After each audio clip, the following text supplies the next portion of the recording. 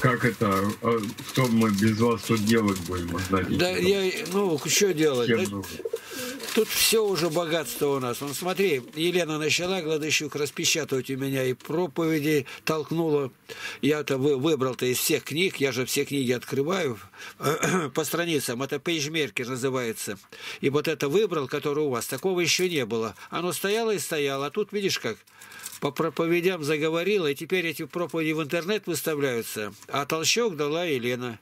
У меня как-то получается всю жизнь так. Мне толчки дают женщины. Научиться печатать на машинке.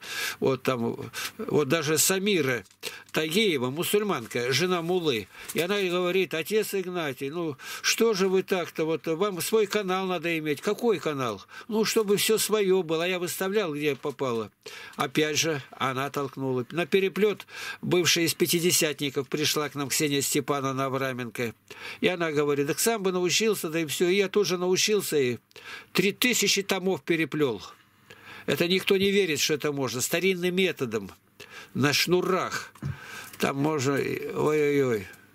Любой толщины книгу можно. Я старинные книги переплетал. И все меня везде женщины подталкивают, сестры. Значит, в сестрах большая польза, огромная польза. И не надо там какие лишние слова говорить, чтобы она знала молча, она может жестом показать.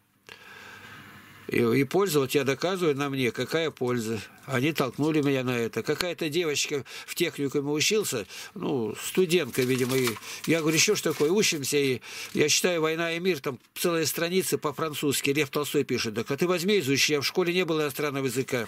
И я в этот же день, кажется, или на утро пошел и нашел, где училась девочка. В шестом классе теперь немецкий язык у них был. Узнал, как букву произносится. И уже через шесть месяцев я разговаривал с немцами в собраниях на немецком языке говорил проповеди у немцев. Опять сестры. Я окружен сестрами со всех сторон. Ну все, с Богом. С Богом.